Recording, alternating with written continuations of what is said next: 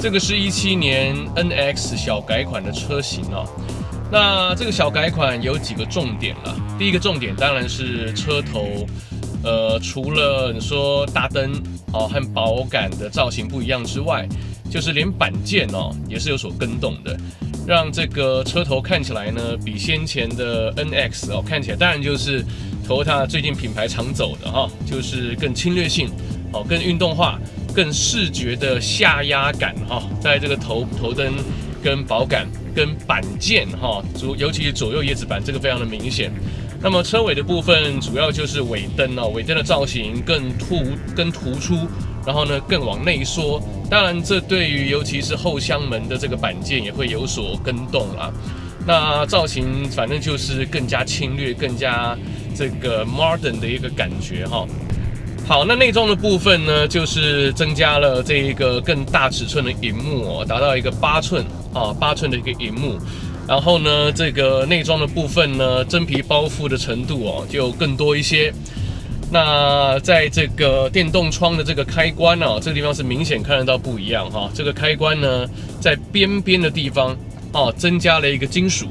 哦，因为这个其实是勾起来跟推嘛，对不对？哈，一上一下。那么其实手指跟它接触面最多就是那一个角角边缘的地方，而那个地方呢，其实第一个呃很可能会掉漆啦，好，很可能会掉漆，因为接触面很尖锐嘛，所以那地方增加了金属，除了说好看。好，质感好之外，就是在耐用性上也会有帮助。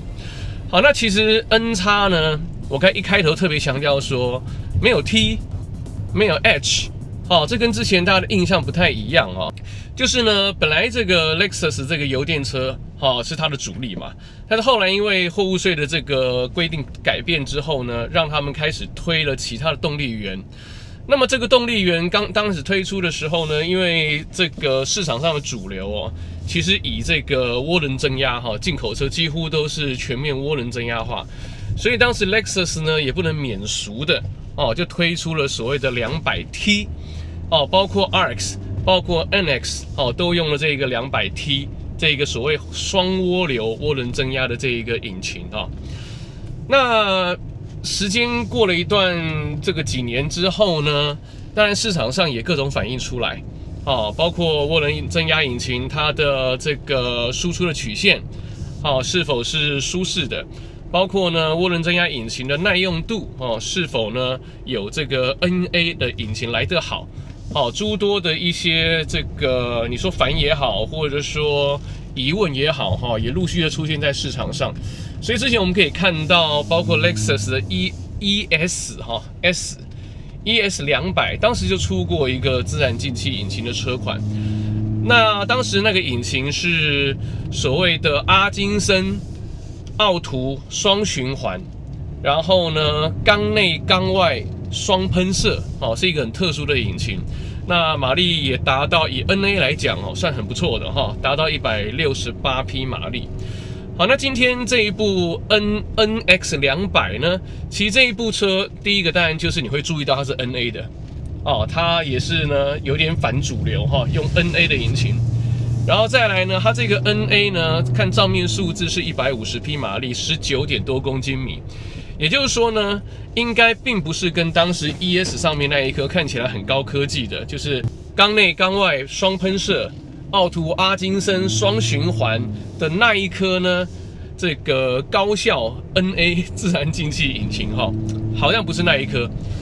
但是呢，不管怎么样，就是现在为什么 Lexus 呢要在台湾这个进口车几乎一面啊一面倒的涡轮化的这个市场里面，哎，又再度的推出一个 NA 版哦？那我想有几个理由啦。第一个理由就是说，到底 NA 引擎哦，尤其是对于习惯开国产车，然后第一次要跳上来升级进口 SUV 的车主来讲，其实 NA NA 还是他们最熟悉的一个动力源哈，在保养哦，在这个保养维修、油耗各方面，大家比较不用花太多精神去去理解哈，或者说去适应。那第二个呢，也因为 NA 啊哦，因为 NA 呢，它相形哦这个机械部分呢比较简单。那也在产品区隔的情况之下呢，使得 NA 款的哦 NA 款的车子呢，售价相对比较平静，啊，相对比较平易近人，所以也是一样啊。我刚才讲的，针对呢习惯开国产车的 SUV 的车主，第一次要升级进口 SUV 的时候，因为它 NA 了，你觉得比较熟悉，那因为 NA 了，它价格比较亲民，这样的话呢，我想对市场上是有一定的杀伤力的。好，那这个具有杀伤力啊，是不是要付出一些代价啊？那首先我们看以这个两百啊 N 叉两百来讲，它跟它同样车系的，比如说三百 H 来比的话呢，第一个头灯哦就比较简单，它有直接鱼眼投射式的一个哦单一 LED。那有自动远近灯切换，但是并不是像比较高阶的，是有所谓的这个遮蔽系统哦，这个掰并 LED 遮蔽系统没有那个东西。好了，第二个呢，就是呢，它这个车内哦，车内的这一个一般比较熟悉的，我们说 LSS Plus 哈，这部分呢反而是不减反增呐。就是之前的 LSS Plus 呢，其实并没有所谓的真正会让车子自动刹停的这个装置，但是呢，NS 两百倒是全配，包括呢这一个主动式的巡航哈，依照前方的这个车速呢来做增减，那也包括了呢这个车道偏离的警告以及自动哈做些微的修正。然后第三样哦，就是之前呢有所谓的前方碰撞预警，哦，只是警告，哦，警告的时候呢，然后呢再自动的蓄压增加刹车的力道，但是你还是要自己踩。但是呢，在这个一七小改款的 N 叉呢，它这 LSS Plus 呢，已经是标配了，在预警之后，如果车主依然没有做出踩踏刹车的动作的话呢，它会自动，哦，自动踩下刹车。来做这一个辅助刹停的动作，会让车子自动刹停。这倒是一个 S S L S S Plus 呢，好增列的一个所谓的主动安全装备。那反倒是呢，在这个 N 叉哈 N 叉两百这个车型里面呢，它反而把一些我们觉得比较低阶的一些主动安全，比如说 B S M 啊，就是后方啊侧面后方的这个来车警示。啊，一般会在 A 柱啊，或者是外面的方向外面的这个后照镜上嘛，啊，多一个这个黄灯或红灯警告，那个东西反而取消了。好，那在车内的部分比较明显的就是这个，虽然说荧幕已经扩大成八寸荧幕哦，但是这个两百啊，它没有导航，好，没有导航机，然后呢，也没有三百六十度的一个 AR 的实景环绕摄影，也没有哈，只有倒车摄影。但是呢，它的前保啊，包括前方，包括两侧，还是有这个测距雷达。当有这个近距离物体接近的时候呢，依然会发出警示声啦。哦，这个是有的。好，在动态方面的表现哦，其实这个 NX 哦，就是尺码呢，其实是刚刚好了。再大一点呢，像 R 叉呢，又太大了一点；再小呢，你又觉得太小哈。这个大小其实刚刚好。不过呢，到底是一个属于比较高耸的车身哦，你底盘呢要用怎么样的方式呢，能够让它在舒适跟性能达到均衡，其实不是很容易。但是呢，这个 N 叉呢，它是前麦花臣后多连杆，其实开起来沉稳度是够的。我们先在这个山区哈试一下它这过弯的这一个极限值好了。好，那当然这个车子如果说你用 Normal 或者 Economy 的话，开起来是非常软哈。来弄个 Sport 看差别大不大好了。好，support 呢，包括油门的反应，包括变速箱的换挡时机哦，都会随之改变。那么这个是八速手自排，有换挡拨片哈。你在弯中呢，如果说你要固定在你选择档位的话，打到 M，M 的时候呢，你拨这一个换挡拨片，哦，它就会呢，除非你超转了，要不然就后在你目前的这个这个档位哈。好，前面一个九十度弯，减速过。好它呈现的是一个蛮中性的转向了哈。因为前驱车一般来讲哦就是能做到中性哦就不容易了好就不容易了。那我们现在因为上坡哈所以你感觉到其实即使说转速拉到一个高转哈好现在是一档哈。到六千转呢，它就进档了哈。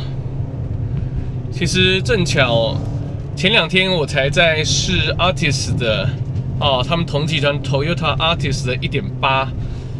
就是 X 版哈。现在是其实感觉起来呢，那一个一点八一样是 NA 自然进气 VVTi 哈，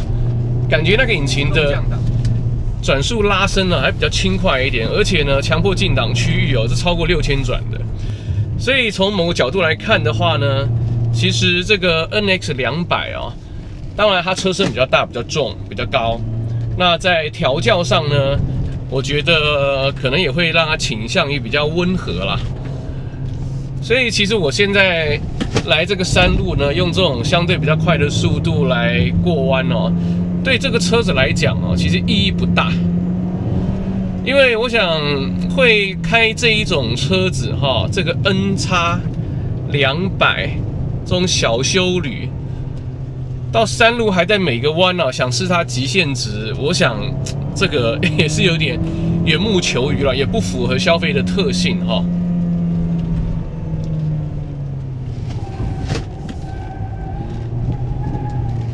所以由这个地方，我们也可以看得出来，为什么呢？这个 NX 哦，它在这个这个极具的产品几乎都涡轮化的情况之下，它依然出了一个这个哦自然进气的版本。我想还是回到我刚才前面说的，哦，就是因为这样子了，让这个车的取得跟后续的持有成本哦相对都会降低。降低之后呢，让它对市场造成杀伤力。哦，我想这个是 N X。我们现在赶快看一下这个内装啊。其实这个 N X 呢，它的内装的部分，好，内装的部分呢，其实看起来是非常的精致，好，跟高档的，你不会觉得说它有那一种 entry level 的感觉哈。包括你看这一个中控台，啊，双料，哦，双直料的一个像这个真皮包覆，而且这个车缝线哦，当然是真的哈。这种品牌 它不会用这个假缝线。好，真缝线，然后呢，这一些这个饰板哈，这个饰板的烤漆都烤得非常的漂亮哈。好，那么这一个空调的按钮哈，哎，也很特别哦。这个呢，拨起来哈，方便性很好。哦，其实我切记就是在行车的时候呢，你这一些操作按键很难按，我认为那个是最不好的。它这个呢，很方便。哦，而且呢，这一个按钮的质感哈，金属感不错，哈，感觉质感也很好。但是唯有呢，我刚才发现说这一排空调按钮啊，它这个 on 跟 off 哈，它是这个 LED 亮绿灯嘛。这个绿灯呢，在一个日照比较强的时候，我想跟它这一个控制面板比较平的这个应该是有关系的。所以我觉得辨识度，尤其戴着这个墨镜的时候呢。这个亮或没有亮，似乎看得不是很清楚了。如果那个时候的话，可能就要依赖啊这个八寸的荧幕了哈。好，然后再往下看到这个哦，双座啊是有这个加热座椅的哈，三段控制啊，这没有问题。好，那么下面这一块面板的话呢，这个排挡杆哦，这个锯齿状了哈。当然有人会讲说，哎呀，现在怎么既然高级品牌为什么不做这个线传呢？其实这个锯齿状哦，它是有一个安全的理由，让你比较不容易误触了哈。这个也不能说完全是跟不上潮流。那再来就是这个左边这一块，ECO、Normal 跟 Sport 这个选项。好，那再往下就是左侧是一个自动启闭装置。那这个词自动启闭呢，其实 Lexus 当真蛮特别的哈。第一个就是我们知道自动启闭，起火。再发动那个抖一下啊，其实很多就算高级的进口车，那抖一下依然是很明显。但是呢，Lexus 在这个部分一直都做得很好，它就让呢熄火的那个气缸刚好停在待会要再继续启动的时候呢的最终点火缸，让它呢启动的时候震动感降到最低，而不会说会有一段空的行程。好，所以这个是不错的。好，再来是一个这个自动防滑系统哈，这 TRC 的一个开关，好，电子防滑系统的开关。然后呢，再来就是这个电子手刹车。它这个电子手刹车呢，我们可以看到后面呢，它的刹车卡钳，它上面呢就有马达的机构在上面，而不是像有一些电子手刹车是它透过缆绳，好由四伏马达去拉动缆绳，缆绳去拉这一个这个电子手刹车的卡钳，而是直接坐在卡钳上。这个在维修上呢是比较便利性的哈。那后方这个很大片的一个，这应该是触控面触控的面板啊。其实我个人我用不不是很习惯这个东西啊，虽然它做的很漂亮。我觉得，尤其在车子在跑的时候啊，如果有一颗旋钮去推的话，我是觉得操控上会方便一点。那我们今天试的这一款呢，这个它的多媒体啊、收音机啊、哦电话、空调资讯都有，但是呢，唯独缺了导航，好，这是蛮可惜的。好，那这一个扶手后面呢，这是一个让女性车主很开心的哈，有一个化妆镜，这个也是之前这个 N 叉就已经有的哈。好，再来就是有一个地方让我觉得很不解的，就是说这里怎么会有一颗螺丝外露呢？这个真的让我很不理解哈。就是一般车子，尤其是这种那么高档的车，如同我刚才讲的哦，你看整个中控台，哇，这个双直料缝线包覆，哇，这直人工艺啊，做多漂亮啊！然后你看这一种哦，雾面烤漆，哦，做做的非常非常的好。那你这一种内装，一般来讲，哈，就是你所有的纽扣、螺丝，照一般的逻辑来讲，一定是隐藏式的。你觉得找不到任何的螺丝是可以看得到或摸得到的，至少有个护盖吧。但是呢，你看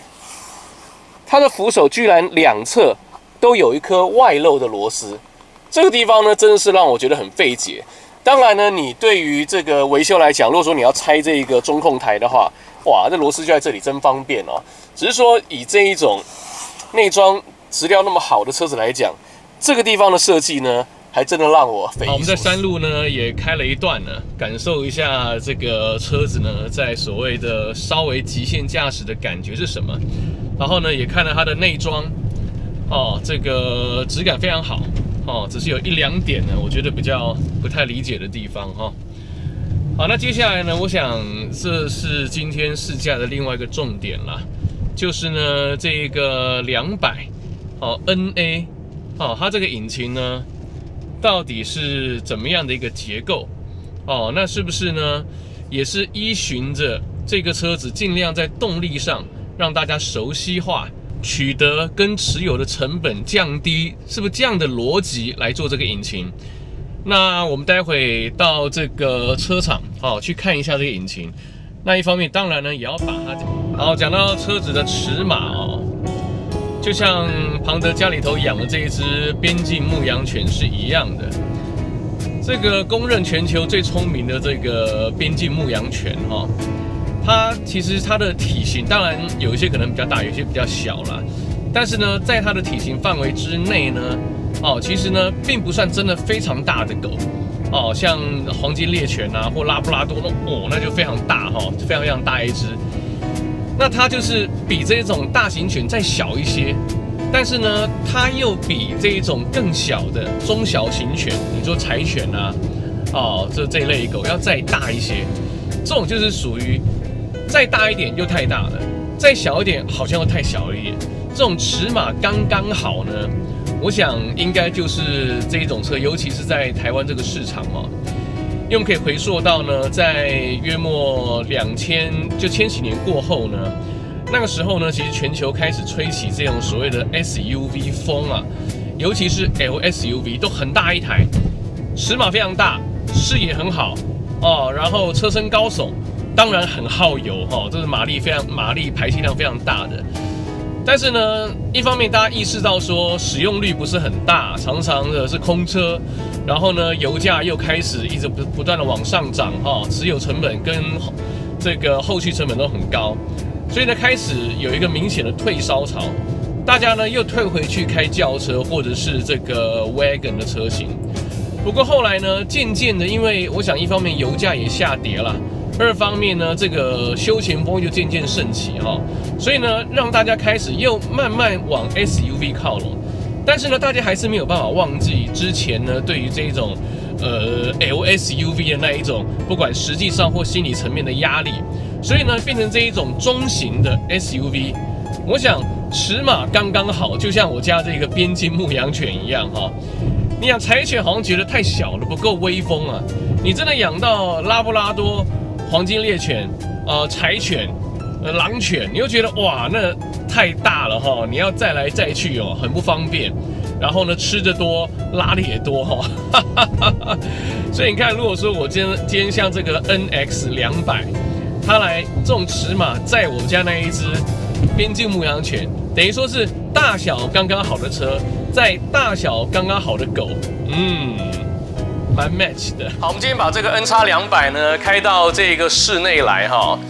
那我们现在来好好讨论一下这一颗两百，也就是二点零 NA 这个引擎呢，到底呢是不是如我讲的？不仅说它把增压拿掉，而且呢结构上还是属于呢，哎，一个包括取得跟持有都相对简单的一个好引擎呢。来，我们看一下，来，我们打开来看。我们看到这个引擎的数据上显示说呢，双无段可变正时系统，好，就是 VVTi 嘛。然后呢，它的这一个喷射系统呢，就是数位喷射。但是呢，照理说，如果说是有包括奥图式跟阿金森式双循环，或者是有说缸内缸外双喷射，哎，等一下，我记得当时呢，这一个 New Camry 出来的时候。当时我就一度也被误导，以为说呢，它就是缸内喷射，没有想到看到两组喷嘴，才知道说原来它是双喷射，缸内缸外双喷射。所以说我不能因为说呢，它的资料上没有写说是缸内外双喷射，我就把它认为说一定是只有单喷射。好，在把这个 N 叉两百的引擎上盖掀开来之前呢，我想我们先来简单讨论一下好了。就是为什么呢？在市场上，涡轮引擎已经成为几乎啊，哦是进口车的主流了。但是呢，N 叉却依然推出 NA 版的。好，这怎么回事？也是一样，依循我今天一直讲的，就是取得跟持有的低成本哦。就增压，我们知道嘛，哦，就是呢，在排气的时候呢，推动，哦，推动一个叶片，好，比如说这个地方。它就必须是用废气推动被推动轮，然后呢，推动轮呢再去抽风，把自然的这一个一大气压的气呢去增压，使容积效率加强。我讲到这边很简单呢，那当然就是它这样比较够力嘛。但是呢，大家看到像这个呢，它是排气气管直接推它，所以整颗啊，你可以想排气气管哎，它开什么玩笑？所以温度非常非常的高，所以呢。因为它这个排气跟进气是要同轴，它这一颗涡轮增压器排气跟进气这两个瓜牛啊，一定要粘在一起。所以也就是说，你今天进汽车的温度被涡轮增压化之后，这个空气一定会温度非常的高。温度高呢，含氧的密度就不好嘛，所以它要经过什么呃 intercooler 啊，不管水冷啊，或者是气冷啊，好就要去 intercooler 去降低它的它的温度。然后我们可以发现呢，它这一个中间呐，这一个轴承的地方还有水道跟油道，油就是机油要进去去润滑它那个所谓的薄膜轴承或者是滚针轴承。那水的话呢，就是要去冷却整颗涡轮增压器啊。好，所以说到这边你就知道说。这一颗涡轮机本身高温高转，好来，我们赶快看一看哈，这个引擎我们看行路上是说呢，一百五十匹马力，然后呢电子喷射，然后进排气无段可变正时系统，好给的资料是这样子。那我们实际上来看好了，好这一个进气气管在这个地方，就跟我刚才讲的六缸意思是一样的哈。好。这个呢，进气侧从这边进来，经过节气阀进去呢，齐嘛，分齐嘛，一变四，四管吸进这四缸。那这四缸呢，我们看的话哈，这个气管上有没有喷嘴啊？有哎，在这里哎，一二三四，哦，有四支喷嘴。来，一二三四，好，有四支分喷嘴分别插在进气气管要进到。气缸头之前，可见呢，缸外喷射是肯定存在的。那缸内有没有呢？我们继续看。好，一般缸内喷射哈，它一定要从这一个活塞的正中心，好一点点偏位的地方呢，把这一个高压的油气喷进去。所以通常位置跟高压线圈是很靠近的。那我们可以看到这地方一二三四四个高压点火线圈，旁边并没有看到任何的并列的喷嘴。好，仔细看一下。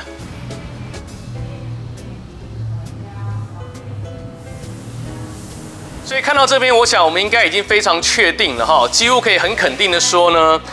这颗 N 叉两百引擎呐，它呢是没有缸内外双喷射的，而是只采取了传统的缸外式喷射。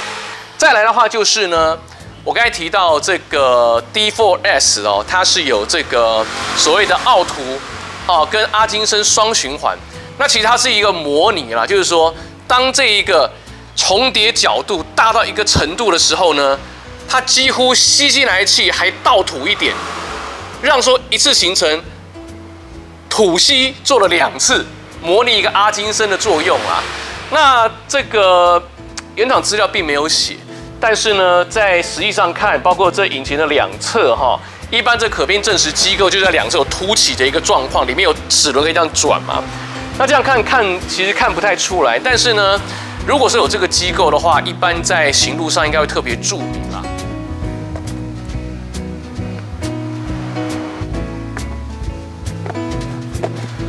所以看到这里，我们应该可以很确定的说呢，N 叉两百不仅是把这个呃有寿命啊，或者是这个保养相对有疑虑的这个部分取消掉，在本身呢 NA 的结构上，也是采相对于呢，哎维修后续。保养低成本，寿命呢风险相对比较低的一个引擎。那似乎也是呼应了我今天一直在讲的，就是说呢，它可能要让这一些首次要跨足进口 SUV 的这一些民众呢，哎，能够让心中的疑虑少一些，然后呢，要持有跟取得的成本低一些，不脱就是这样的一个概念。